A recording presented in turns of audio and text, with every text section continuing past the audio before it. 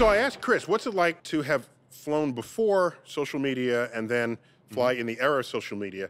Times are different. So I just asked Chris to reflect on the difference between then and now.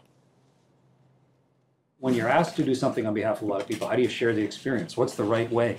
On my first flight, I would grab a camera. This is in 1995, a Hasselblad with 70 millimeter film in it, right? Take a picture of someplace. And first thing is, well, was that a good picture or not? Did I get the f-stop? Did I get everything just right? I don't know. So you, you bracket it, you hope. And then you get home and a few weeks later they have this big roll of film and you look and go, what the heck is that?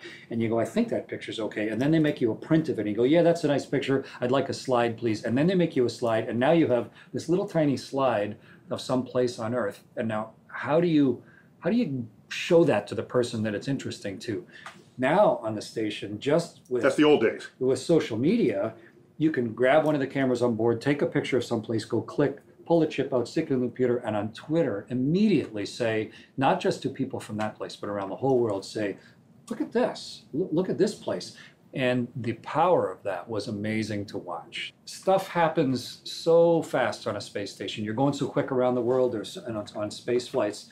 And often you, you kind of go, that was amazing, but I don't have time to think about it right now. I'm gonna, I just have to shelve my reaction to that thing. I'm gonna maybe take pictures of it or something, and later on I'm gonna think about it. And I still, So it's uh, delayed emotional investment. you have to, you have to, you can't keep up. It would just overwhelm you if you tried to keep up emotionally with what's happening, especially during a shuttle flight. But even on a space station flight, if if if you and I were by the big window of the space station and I and we went around the world once together, what would I show you? What what would hey, you know, look at this, look what's coming, look up ahead at, at Mount Taranaki, or look, wait till we get to Tokyo, or look what we're gonna see of London and then France 15 seconds later.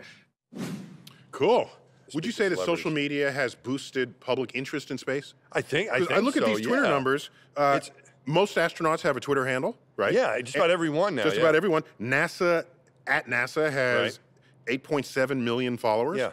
Uh, the Mars Curiosity rover, the rover has 1.8 million followers. More than Hadfield, or I mean, not Yeah. as many as you, I would Mo- think. Most of them are bots.